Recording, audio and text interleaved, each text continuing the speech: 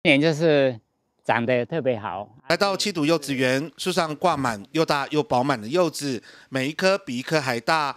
基隆七堵马林种植的柚子树，最近开始进入了采收期，和农历九月才能采收的白柚，两者比一比，简直比白柚还要大。这个今年哈，就是柚子那个开花的时候一直下雨，所以着果率比较低。哈，啊，它着果率比较低，它本来是可以。生一百五十个来讲，它今年只生了差不多一半而已，还不到三分之一，所以它那个柚子长得特别的大。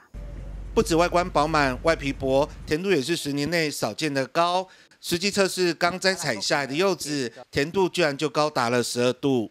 因为基隆这个地方跟南部不太一样，因为基隆离台北很近，所以有很多游客啊，他刚才像刚才就有打电话说，哎，可不可以采果？说可以来拔柚子啊。这是特别哈给民众来做体验的。今年台风对基隆没有造成灾损，反而是丰沛的雨量让柚子的甜度更集中。以往甜度我们现拔下来现测的话，差不多九至十度了哈。